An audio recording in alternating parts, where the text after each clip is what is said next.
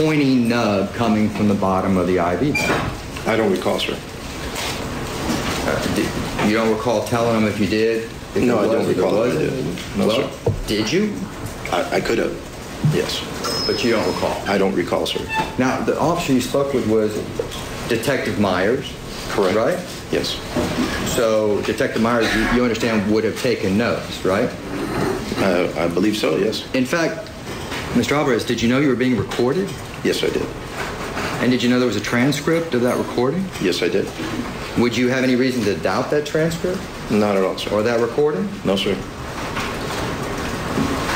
When we had the preliminary hearing and you testified there, you were called testifying at the preliminary hearing, right? Yes.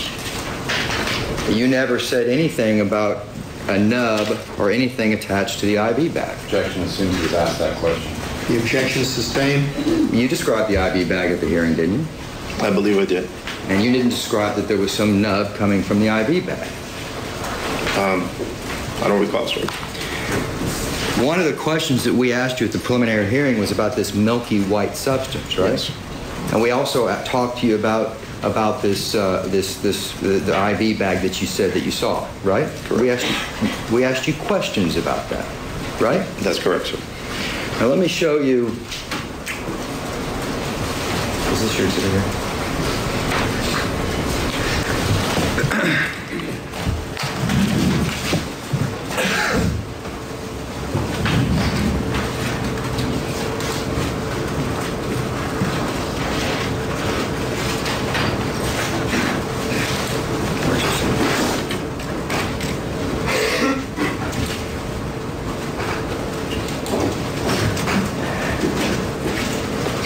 Me show you. Can we turn down the lights, Judge, please? Just We'll over be here. happy to. Ms. Hua? Today, you've testified that this, I believe your testimony was, this is the bag that you saw. That, that appears to be the bag that I saw, How yes, do you, sir. how do you know? It looks exa- it looks like the one I, I took off the stand, sir.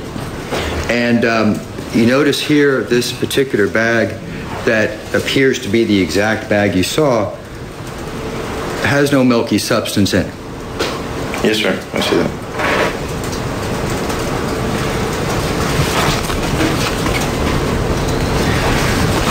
We also, let me go, actually, let me go back to that. We also asked you at the preliminary hearing to describe the vials that you saw, right? Correct.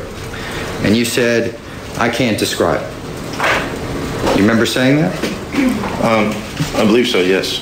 You said that all you could tell was, was I asked you the color of the, of the labels, I asked you all kinds of specifics you said you didn't know. I said I, I, I- I believe I said that I didn't have a, a, a clear view of the of the of all the bottles, sir.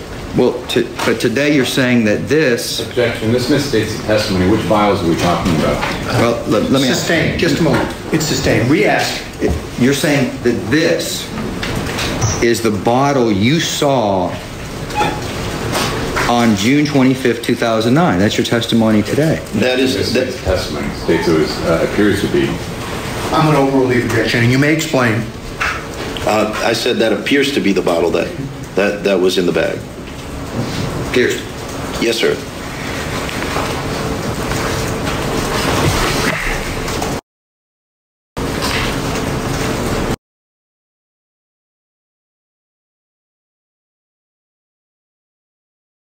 Alvarez.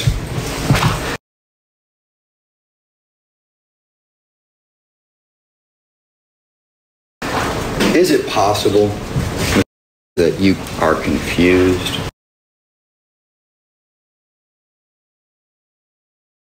about the timing of these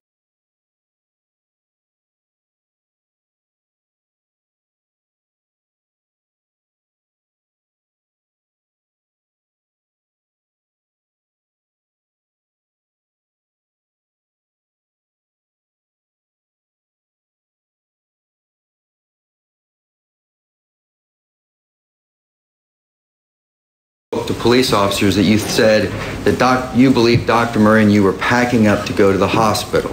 Yes, sir. And in fact, you testified to that today, right? Yes, sir. And Actually, that's exactly what happened. You went to the hospital, and so did Dr. Murray. Is that right? So, isn't it possible, Mr. Alvarez, isn't it actually likely that when you talk about things that are being put away, it was while, after the paramedics came and before you went to the hospital? No, sir. All right. Can you put, put the pad up for me? Judge, we're going to put up a pad and mark on a pad. Is there any particular place you, you, you want us, can we have it right here? Can we put it right in front of the jury? Do we have an easel? We did. How about that? Ms. Gourjian? Yeah, I think he was asking where you want the easel. Well, for for the benefit of the jury, um, Can I put it over here? perhaps that's the best location. We'll see it. I don't know how big you're going to be writing, so. Or you could put it in the middle. I mean, I don't Okay. know where it's best. One phone call, 1220 Yeah, p.m. where would the court like me to be so I can see what, Uh, If you want to scoot over, Mr. Walgren and and/or Ms. Brazil? it's okay to put over the corner? Sure. Do you want this uh, marked as uh, defendant's G as in golf, Mr. Chernoff? Yes, Judge. It's marked right now, G. All right.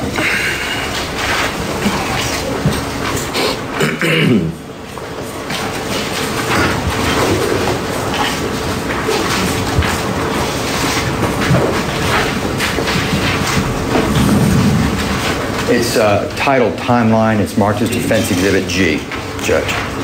Thank you.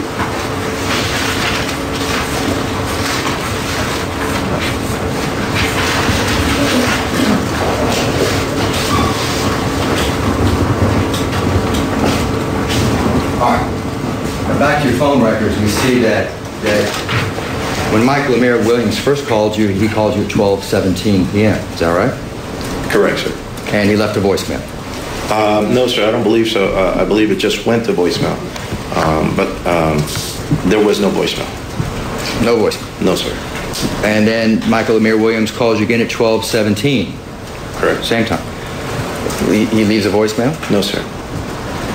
but you call him back right away. That is correct.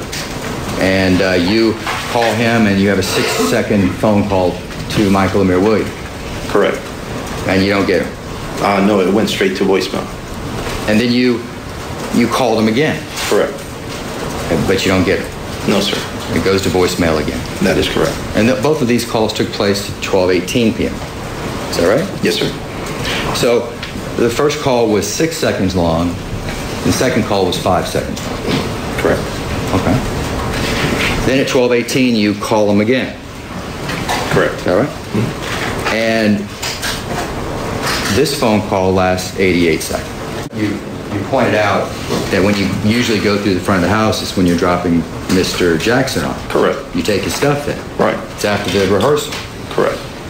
But you going through the front of the door, generally speaking, is an unusual occurrence. I mean, I wouldn't call it unusual. It's just not, not, you know, it didn't happen all the time. Let's take a look at ex- Exhibit 6, People Exhibit 6. You've already pointed out the security trailer's right here. Is that right? Yes, sir. Pointing to that white box that you've already identified for the record. Yes.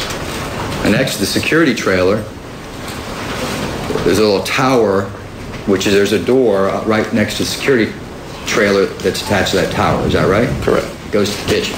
If you need to use the restroom, you go through the kitchen. That is correct, sir. But he asked you to go to the front. That is correct, sir.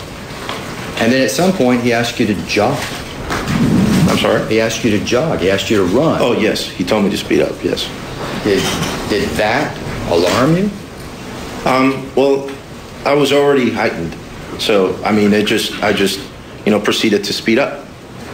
And you go from sitting in the trailer, browsing the internet, right? Yes. Nothing's happening. Correct. You had no concern that anything was happening inside the house. Uh, that's correct, sir. To go to the front door, start jogging to the front door, get in there. Correct.